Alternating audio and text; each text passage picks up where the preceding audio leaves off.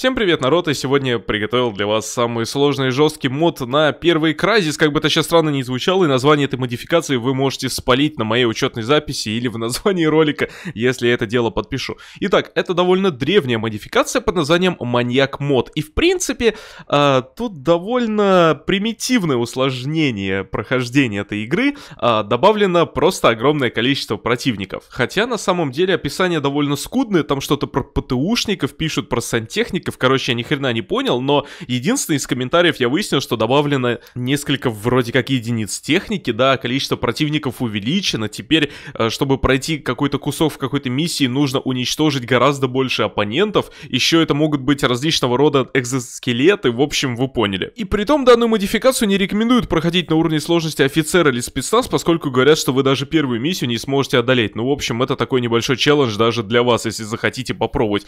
Я бы поставил допустим, сложность рядовой, почему бы и нет, и попробовал одолеть хотя бы первую миссию под названием «Контакт». Ну что ж, надеюсь, вы готовы? Давайте на это дело посмотрим. Несмотря на то, что модификация около, подожди, 12 лет, наверное, да? Я ее запускаю первый раз, поэтому весь уже в предвкушении. Но пока мы не начали, я заранее поблагодарю вас за пальцы вверх, если вы их уже поставили, и не забудьте подписаться на канал, если вы тут впервые, видеоролики выходят ежедневно. Также проверьте колокольчик, чтобы у нас был включен, уведомлял о новых роликах. Я думаю, что мы сегодня пройдем только первый первую миссию, потому что если мод действительно такой жесткий, как о нем говорят, то Думаю, одной миссии мне вполне хватит. И да, в этом случае нано-костюм, если что, доступен. Но мало ли, может, кому интересно. Кстати, самое интересное, что я так и не нашел даже полного прохождения Кразиса на YouTube с этой модификацией, поэтому это будет еще и вдвойне интереснее. Итак, дополнительных модулей у меня никаких нету, поэтому я экипирую все, что тут по стандарту обычно ставлю, да, и побежали. Вертолет, если что, это не то самое увеличение количества противников. Итак, спасибо за диагностику пророку, подрубим максимум скорости и давайте попробуем это дело проверить. Значит,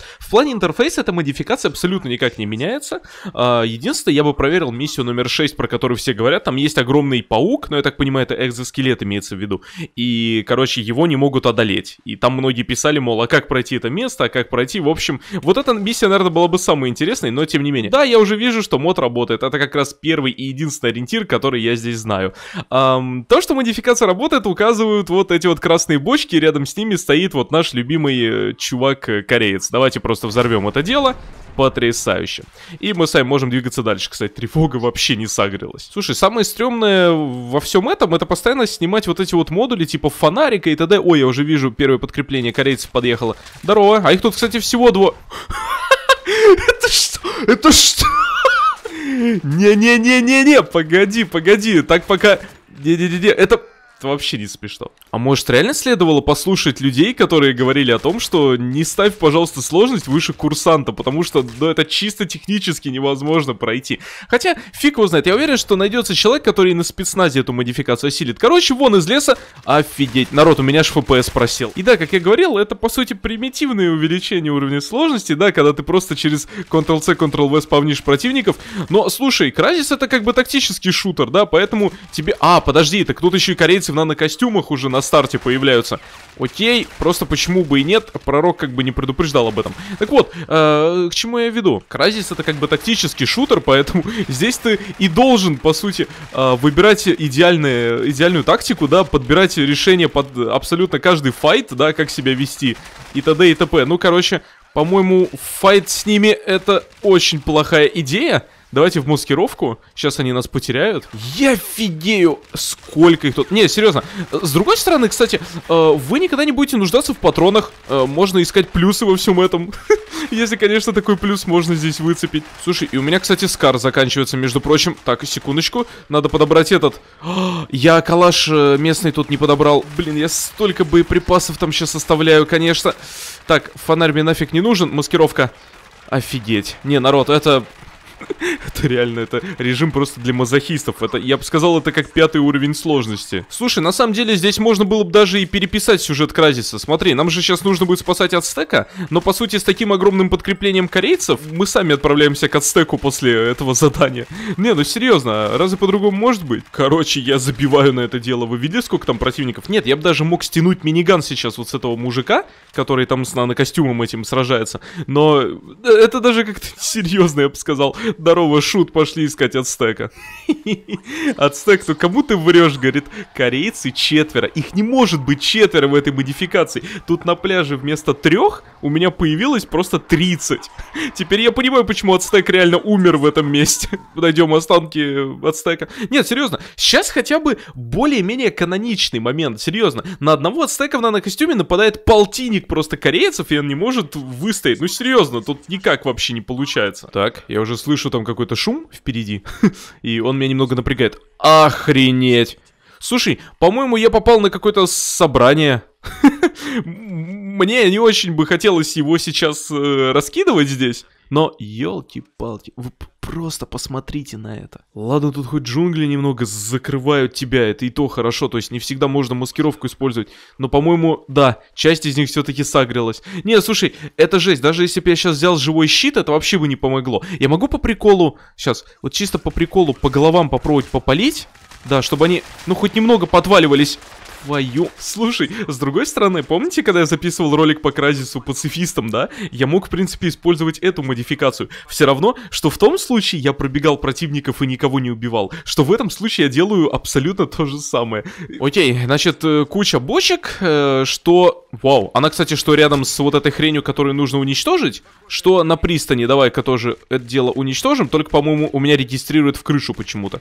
Пожалуйста, уничтожься. Спасибо. Кстати, самое забавное, что я сейчас расфигачил им пол деревни, но при этом э, станция, вот эта, вот эта глушилка, короче, она у них до сих пор здесь функционирует. И это, это реально очень стрёмно и странно. Но, кстати, опять же, спасибо автору модификации, что хотя бы добавил эти красные бочки, чтобы хоть немного можно было вот эти вот кучи противников э, уничтожать. Кстати, у меня ровно один патрон остался в оружии офигенно. Я просто... Я, я обожаю эту модификацию уже. А я, походу, тайничок нашел, дамы и господа. а вот и патроны для Скара 660. Слушай, неплохо. Так вот, здесь есть такие моменты, типа вот этих вот бревен. Их, по сути, можно было бы уронить. Подожди, дай-ка попробую. Ну-ка, давай. Вниз. И... Ну да.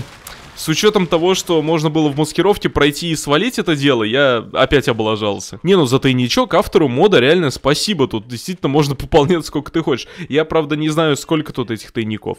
Э, но, тем не менее, чем больше, тем лучше. Это как бы правило всегда работает в любой игре, я считаю. Исключая, конечно, противников, которые на тебя нападают, да? Совсем забыл добавить. Ну, подумаешь так чисто фигня. Кстати, вот в чем еще плюс игры с таким модом именно на первой или на второй сложности, тут э, корейцы хотя бы помечаются тебе. То есть, э, да, я понимаю, искать их, конечно, может и интересно, но никогда их тут 30 человек. С другой стороны, ты можешь просто взять условный миниган, и шить через джунгли. Какая разница, все равно кого-нибудь ты точно зацепишь. Это вот прям стопроцентная информация. Слушай, по-моему, вот этот мужик должен быть последний. Здорово, хватит шить э, через дерево Спасибо. Так, и вот он, последний. Но остальные там на пристани остались, фиг бы с ними.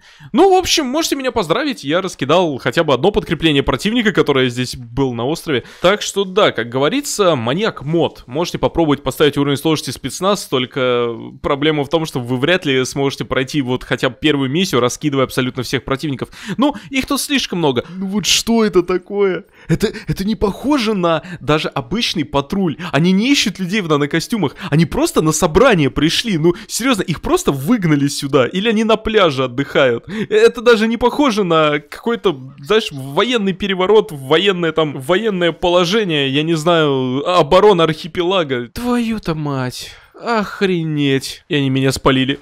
Я думаю, что это дело надо проходить, как и в случае с э, модом без нанокостюма. Э, нужно реально было просто прыгать под воду и плыть, потому что других альтернатив здесь нету. А, и, кстати, маньяк мод полностью отключает вам транспортные средства. Ну, то есть из разряда, э, вы представляете, что будет с транспортным средством, если вы напоритесь вот на, вот на такое, у меня аж FPS проседает, вот на такое, если вы напоритесь. А вот прикиньте, это у меня сейчас FPS проседает, да, с такой системой неплохой.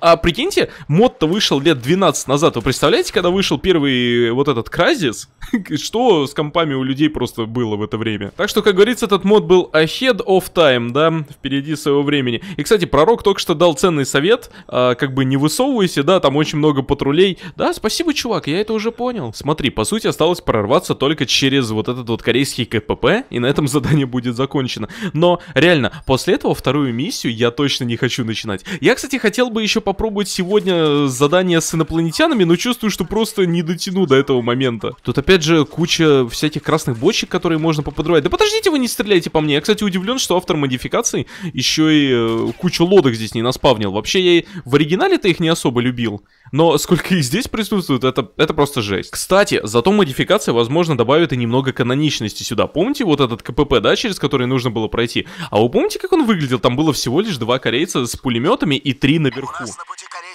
Я, наверное, вырежу этот момент, чтобы вы не оглохли. Но это тоже часть модификации, да? У меня только что пророк просто заорал мне в наушники.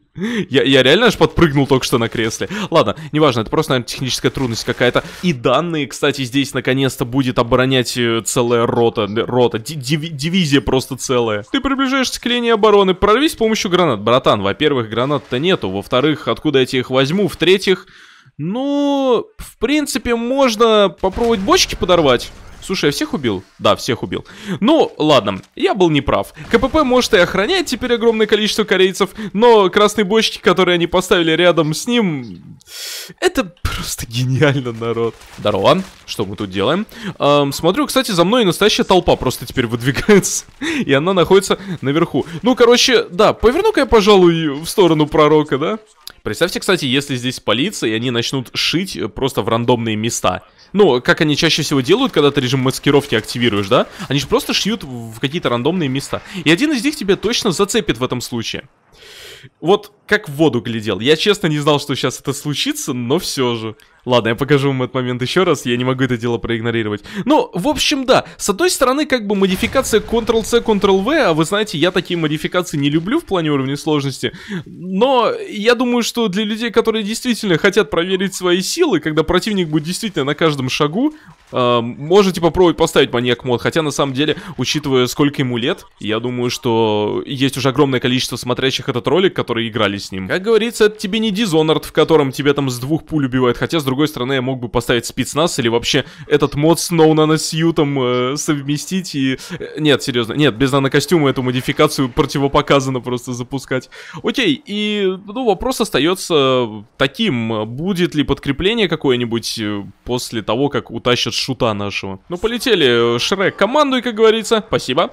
И да, здесь подкреплений, слушай, по сути не будет, да, это заскриптованные чуваки, которых, э, по сути, да, и убивает этот самый пришелец. Самое главное, надеюсь, что таких модификаций нет такой-нибудь первый Far Cry, да, ну просто с учетом того, что как бы Crysis первый Far Cry, да, ну вы, вы поняли суть.